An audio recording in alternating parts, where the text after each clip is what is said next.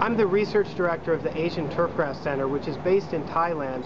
And what our company does is provides information about turfgrass management to clients in, in Asia. Mostly we focus on, on East and Southeast Asia, from basically from Indonesia up to Japan. I used to be a golf course superintendent in Shanghai and also near Tokyo. Then I went back to Cornell University in New York and studied for my PhD.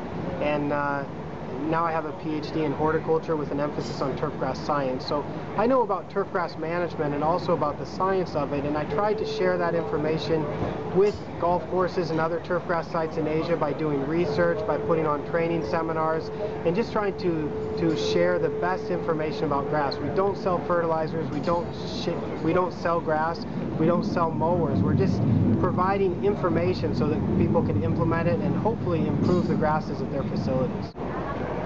Yeah, that's a good question about what is really some of the main problems on turf grass in this part of the world in Singapore.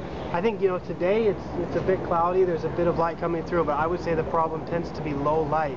And grass needs light to grow well. And on putting greens, we cut it really short. And when we cut the grass short, we're taking away so much of the leaf.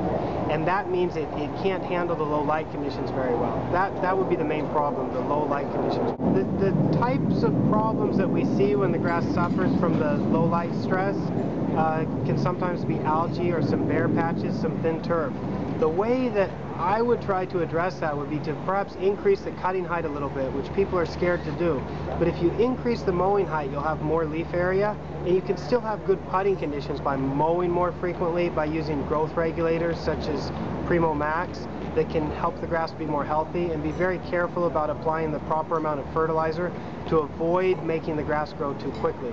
If you implement that, um, rolling the turf, increasing the mowing height, using some uh, growth regulators and, and, proper fertilizers, you can improve the, the turf grass quality and help it to withstand the low light conditions. You asked about some of the, the misperceptions or misunderstandings or things that sometimes golf courses try to improve the turf that maybe it's not really giving them the effect that they want. And that's a really tough question to answer and I think it's something that is really unique to any individual golf course. Um, you know, it's, it's, it's all over the place. Some golf courses might choose a grass that, that they heard worked really well, but it, you know, maybe it's coming from Florida or something, and maybe it doesn't work well in Kuala Lumpur, or it doesn't work well in Jakarta.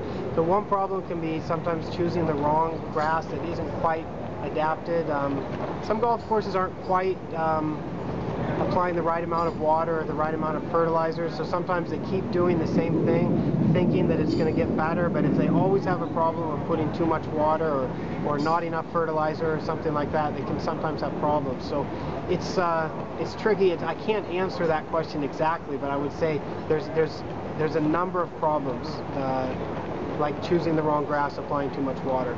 Uh, those kind of things can cause